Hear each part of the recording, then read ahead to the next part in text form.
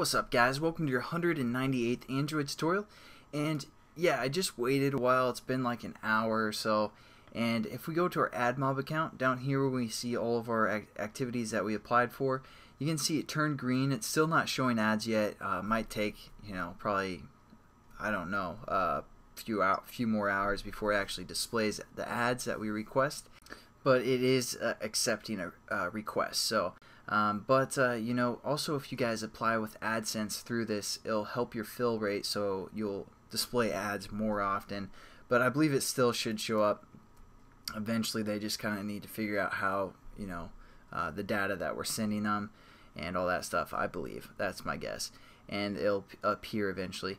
And then what we're going to do is, um, so again, if you guys don't have this green highlighted button uh, within you know a few hours that's probably some sort of a problem, but uh, you know, give it a while. It says two minutes, just give it a few minutes. Um, and another thing we can do is we can open up our starting point class, and again, we gave that ad a reference as well, and we're just going to set up a, re a, reference and you know refresh it or send a refresh, uh, so we get a fresh new ad uh, within our application on our on create method.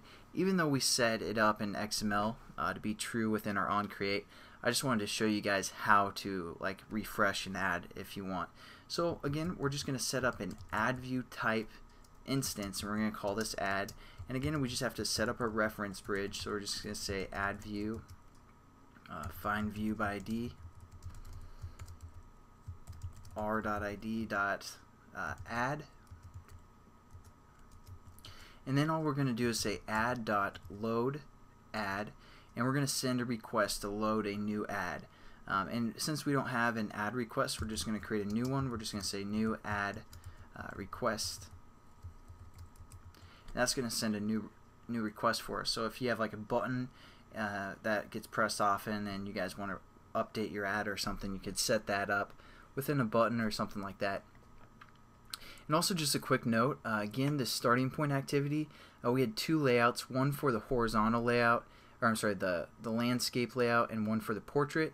Um, so again, you guys want to set up your ad within here. Otherwise, when it tries to look for this ad view within the Java, if we're in the layout uh, or the landscape mode, it's not going to be able to find that and it's going to crash your application. So again, just make sure you guys open that up and add this reference here and then set up your ad within there. have the same ID as well, so your ad can find it or your Java class can find that ad.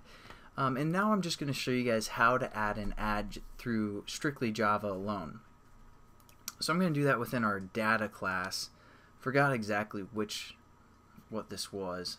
Anyway, so we have our data class and we have this uh, layout as get, so I'm just going to open that up as well.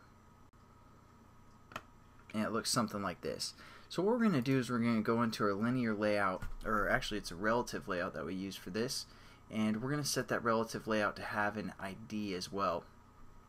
So we're just going to say Android ID equals, uh, you know, at plus ID forward slash uh, relative or rel layout.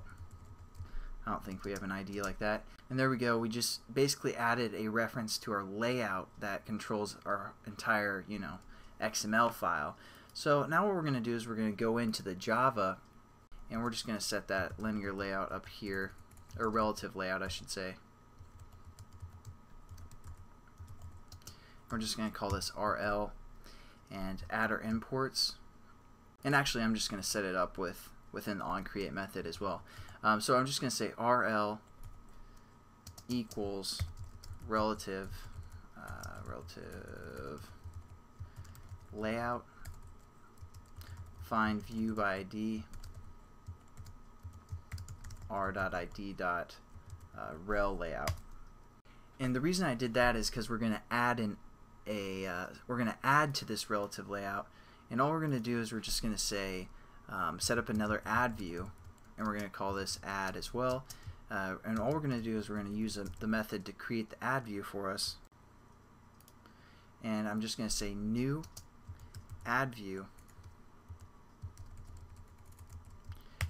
and then within the parameters we refer to the context of the class so we're just going to say data.this and then for our second parameter uh, we're going to set up the ad size so we're going to say ad size dot banner you guys have a few different choices you guys can mess around with, see the different sizes that you can work with. We're just going to say banner, and uh, and then we have to enter our ad ID, which I'm just making up here. And that creates, again, the ad for us. And now what we can do is, um, you guys probably have to put that in quotations as well. So uh, now what we can do is we can just add to our relative layout, which we call, called RL, and just say add view. And then what view are we going to add? Well, we're going to add this um, this ad view here, so we're just going to call it ad uh, because that's what we called our ad view. And then all we're going to do is we're going to say uh, our ad, and then again just load uh, dot load ad and new ad requests as well, just like I showed you guys um, a second ago.